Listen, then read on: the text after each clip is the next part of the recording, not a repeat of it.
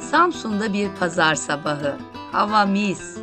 Güneş mutluluk veren ışıklarını üzerimize akıtıyor. Ailece kahvaltı yapmak istiyoruz ama nereye gitsek, nerenin kahvaltısı bizi mutlu eder çok da bilmiyoruz. Artık deneye deneye mekanları keşfe devam.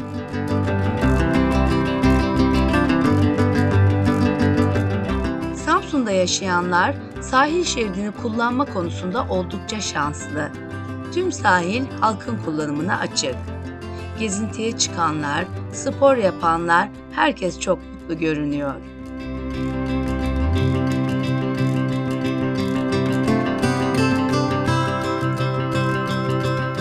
Sabahın erken saati olduğu için birçok işletme maalesef kapalı. Sonunda açık bir yer buluyoruz ve nihayet kahvaltı yapabiliyoruz.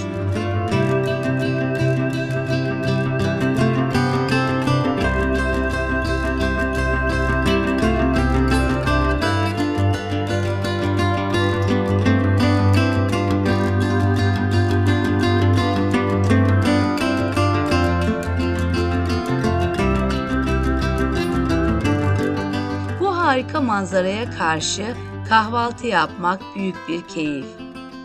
İstanbul'un karmaşasından sonra burası huzur dolu.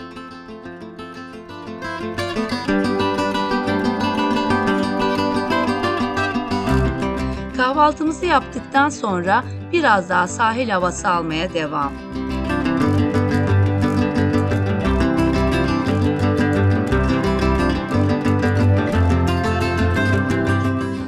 Sorularınızı ve düşüncelerinizi videonun altına yorumlar kısmına yazabilirsiniz. Yeni videoda buluşuncaya kadar şimdilik hoşçakalın.